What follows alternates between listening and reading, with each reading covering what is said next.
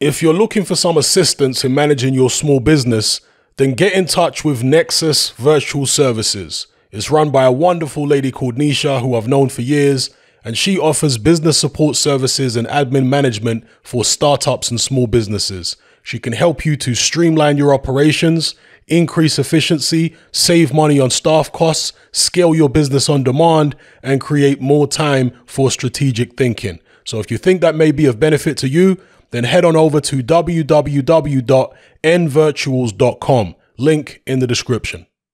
According to Mike Coppinger, Canelo Alvarez could fight Billy Joe Saunders on Cinco de Mayo weekend in the second bout of a two fight deal with Eddie Hearn to compete on DAZN.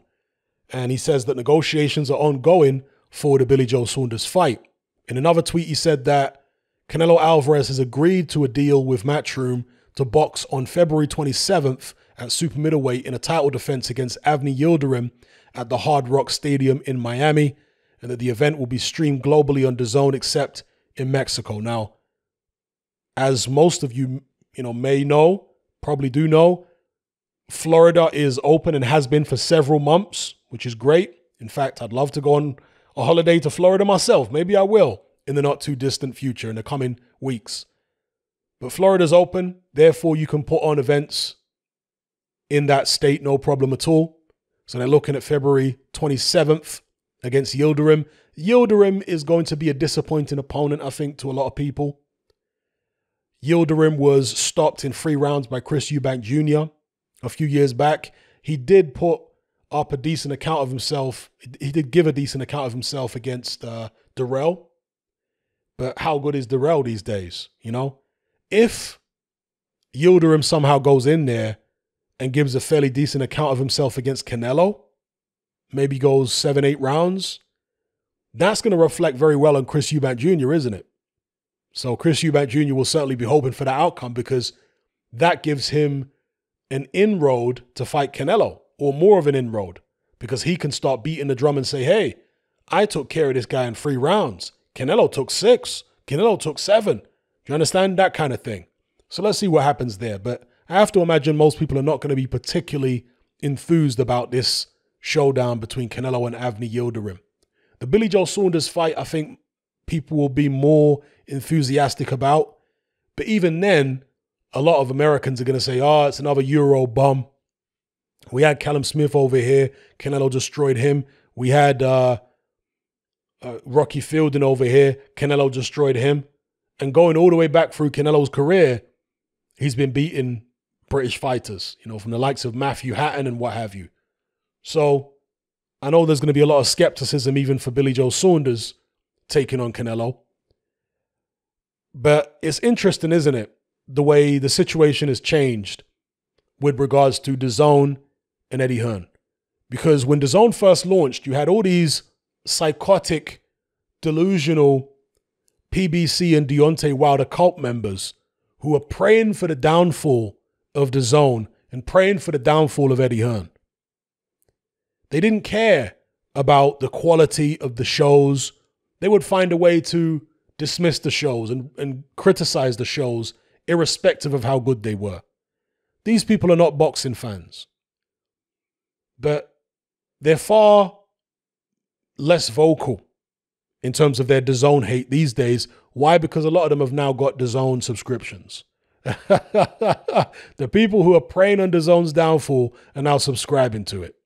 Unbelievable. And they, these people were also saying DAZN would never take off, it would never do anything. At the end of the day, it makes no sense if you're a boxing fan to pray for the downfall of a new boxing platform. It, it just doesn't make any sense. It doesn't mean you're co signing whoever's behind DAZN as good people necessarily.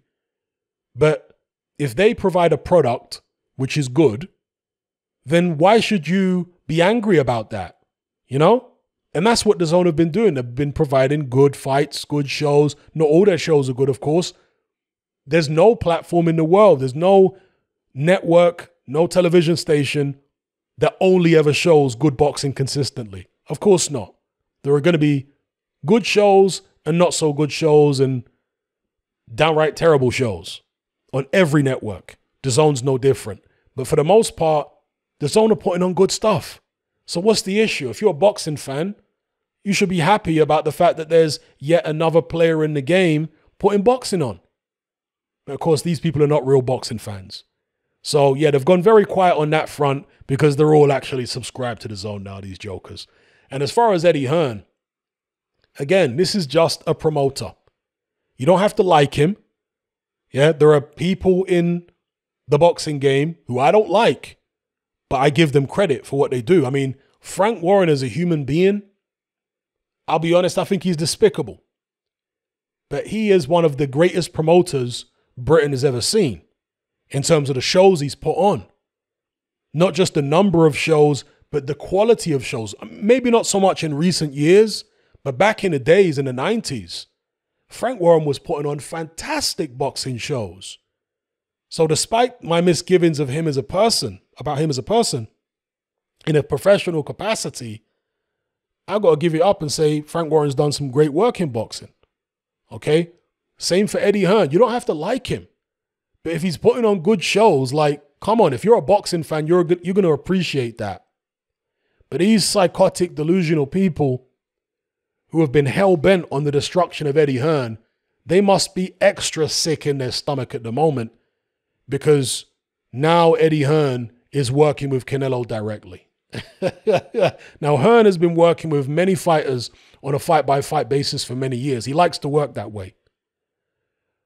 It not only encourages fighters to sign with him on these short term deals or fight by fight deals, but it also prevents him from getting mixed up in legal battles with fighters, which in this day and age is a very bad visual.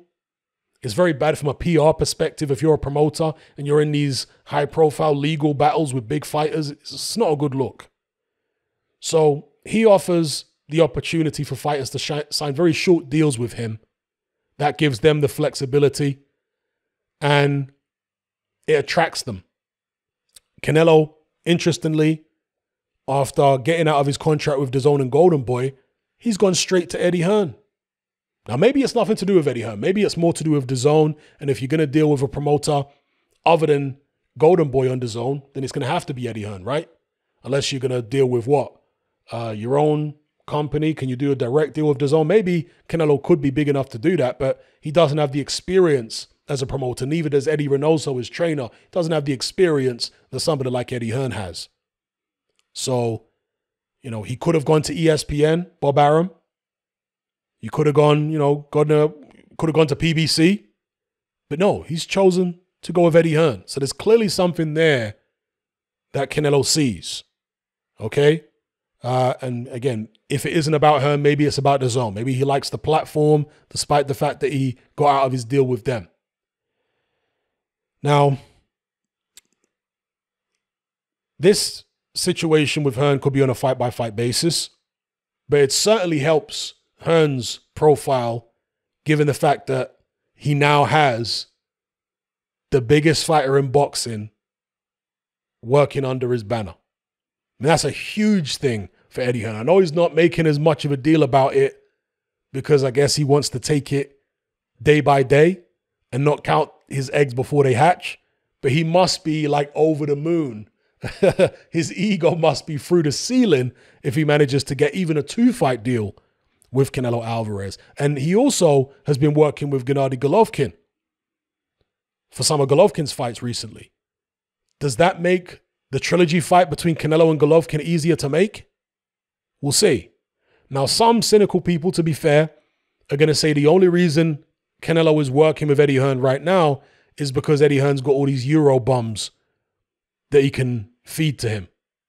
And Canelo's been knocking those guys off for years. So why not continue it? It's easy money for Canelo. It's not really about Eddie Hearn's ability as a promoter. Maybe it's not even about DAZN. It's just about the fact that Hearn can feed him all these Euro bombs, as they would say they are. I'm not calling them Euro bombs, but you know, there are going to be a certain contingent of the boxing public that will call them that. You know, they'll look at the likes of Callum Smith, Billy Joe Saunders, and say, well, this is just food for Canelo. That's why he's coming to Eddie Hearn. There might be some validity to that. But then again, Eddie Hearn's got people like Demetrius Andrade. I rate him as a fighter. He did put Danny Jacobs in with Canelo. Danny, is Danny Jacobs a Euro bum? He's not from Europe. Is he a bum? I'm certainly not saying he's a bum. So I think there's a, a bit more to it than that. But let's see what happens. The first fight, as far as the rumors go, as far as sources like Mike Coppinger are saying, will be Billy Joe, uh, excuse me, will be Avni Yildirim. And then after that, Billy Joe Saunders on Cinco de Mayo weekend. So let me know what you guys think in the comment section below. Canelo Alvarez potentially signing with Eddie Hearn. Some sources are saying it's only a one fight deal. Others are saying it's a two fight deal. It remains to be seen. But let me know what you think about it. Is this the right move for Canelo Alvarez? Do you think he should be targeting other people? Because, of course, there's the likes of Benavidez, Caleb Plant, and so on over at PBC who aren't really getting a look in at the moment. Why aren't they getting a look in? Is it because Canelo is concerned about those fighters? That they might have the might have the beating of him? Or is it because he doesn't like dealing with Al Haymon? Maybe he hasn't heard good things about Al Haymon. I don't know. Let me know what your speculation is in the comment section below. All right? I'm out.